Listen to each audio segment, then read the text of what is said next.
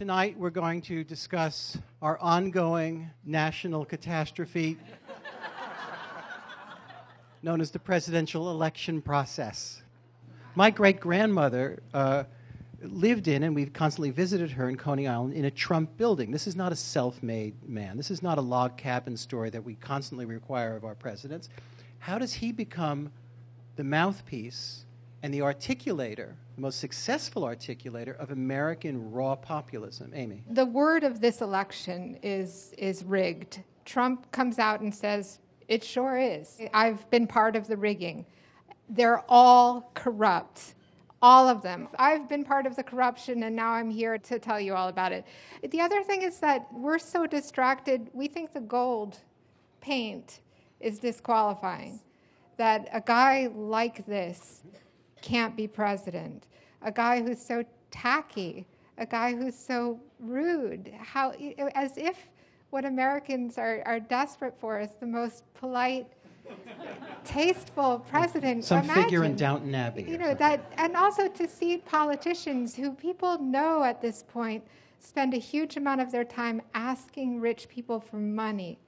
To have them be saying we're the serious, tasteful ones, and that guy, who's exactly the kind of guy we who supports us, is so not of the right sort. Hey, do you know anybody that's going to vote for Trump?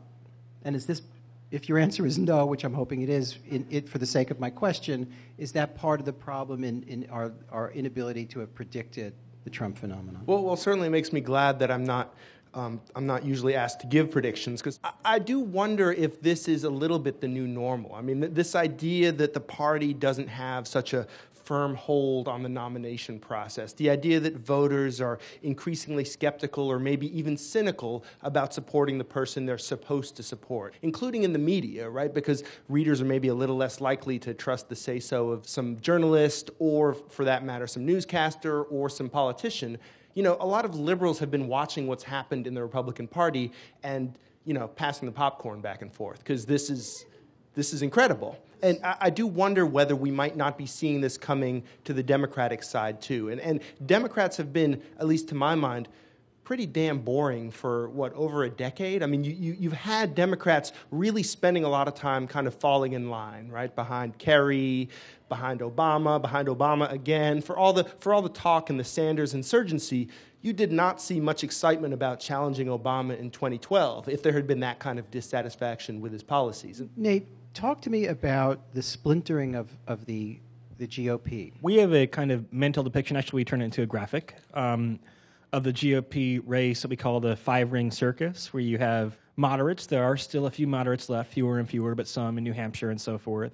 Um, you have libertarians, you have the establishment, um, you have the religious right, which is kind of oddly forgotten about, and you have the Tea Party, and they all kind of overlap and intersect in kind of a very complicated Venn diagram.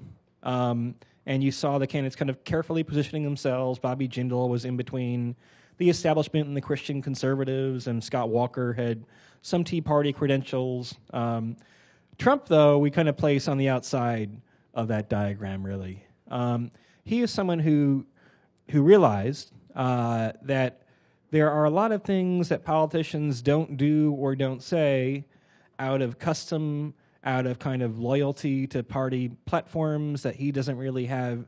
He's not really bought into. So I, I such as what? What do we not? What do they not say?